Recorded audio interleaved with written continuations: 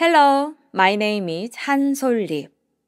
I'm a composer, arranger, and solo performer, and I use a Korean traditional stringed instrument, 철현금, percussion instrument, 울라, and various electronic sounds.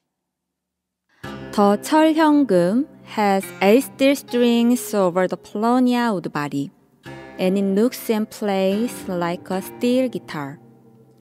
The left hand bends the note with a roller called dong o, while the right hand plucks the string with a stick called sulde. Because of the steel strings, the sound is bright and reverberation are long, so there are lots of ways to play the instrument.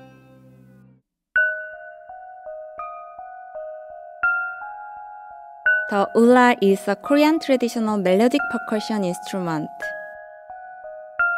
that has 10 small gongs hanging from a wooden frame and is played with a small wooden hammer.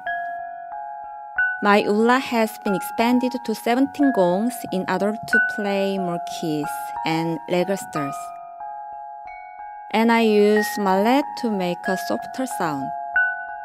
The sound is clear and beautiful, similar to the resting glockenspiel or vibraphone.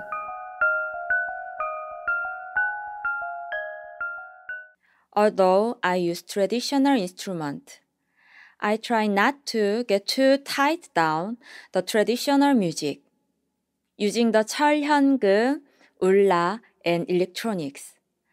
I just the music I want to do and tell the stories I want to tell.